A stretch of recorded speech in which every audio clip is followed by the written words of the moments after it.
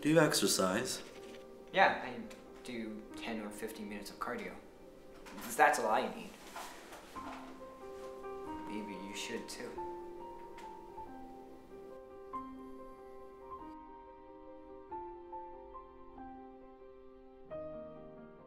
well, I basically feel nothing. I don't have energy to work out. I'm always tired. No idea why I feel like shit. And I'm not depressed. You seem already convinced that you're depressed. You're saying I'm in some sort of denial? Does being in denial aggravate you? No.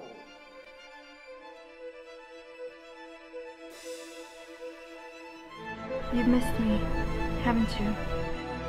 You've gained so much weight. Do you think I'm depressed? I can't believe you. Both of you are in denial about being depressed. Yeah, what is it? Do you give the green light for us to mobilize? I need help. Get the hell out of my house! Time to make you feel how I feel in my nightmares.